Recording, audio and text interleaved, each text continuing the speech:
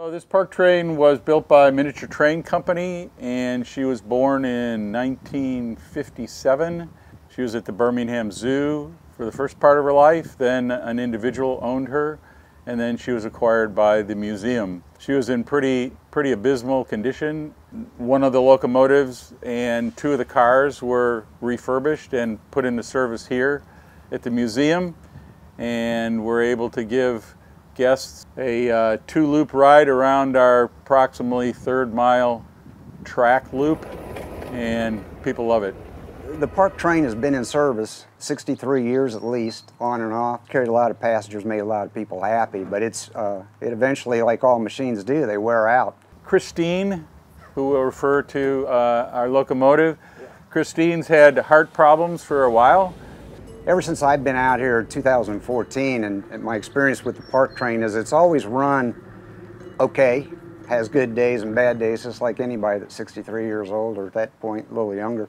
But this past weekend, she finally had major problems and was not able to even climb the far hill. We had to have two of our other volunteers actually push her up the hill give enough power to complete the ride with the with the guests.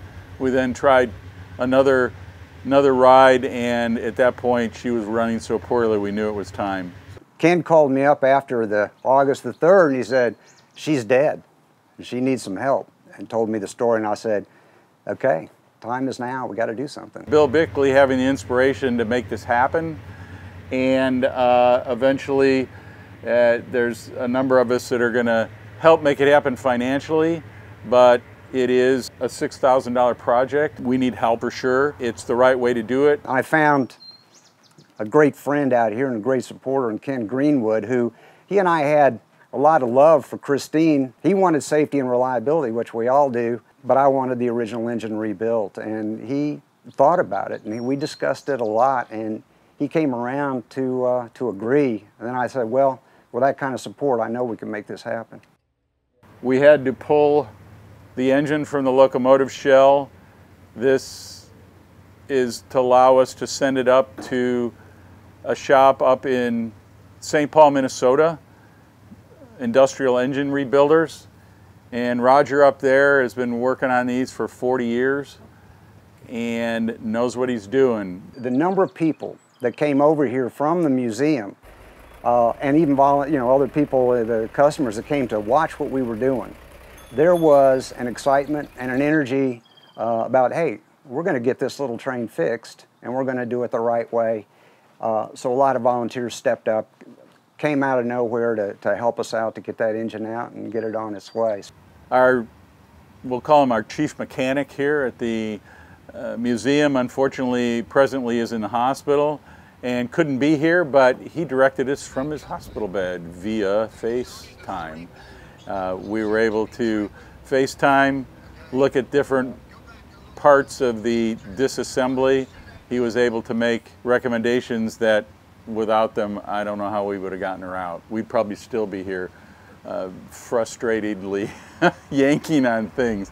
So we had to um, and again, Donald says, you know, you're going to have to secure the the, uh, the gearbox, the transmission, with a with a different contraption. Separately. Separately, I you know, and I'm not a I'm not a uh, mechanic by any means, but essentially a hoist to hold it in place, and then find another set of straps and another.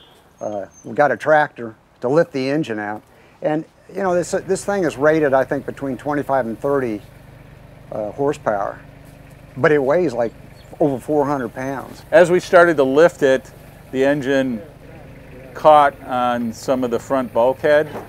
We then had to try to lower it down to clear that bulkhead, at which point it dropped way quicker than we were, were hoping it would, but it again, it did not not hurt anything, and that was a, a little little touchy at times, but we got her out in one piece and didn't break anything and didn't hurt ourselves, which was even better. Until she was then sitting on a pallet, we were all a little tense because the last thing we wanted to do is see the engine drop and uh, ruin the engine and crush Christine's face. There's a couple of us that are stepping up to make sure that we had the, um, you know, the bank to, to get everybody comfortable that somehow th- th- th- this was going to, happen. we had the resources to make this happen. But I tell you, the, the best projects are the ones that are, are funded by, you know, grassroots, small amounts, families that come out here and write it. Um, and I think that that, that to me is, is the right way to do it. And I, so I encourage people to go to the SRM website. There's a way to make a contribution.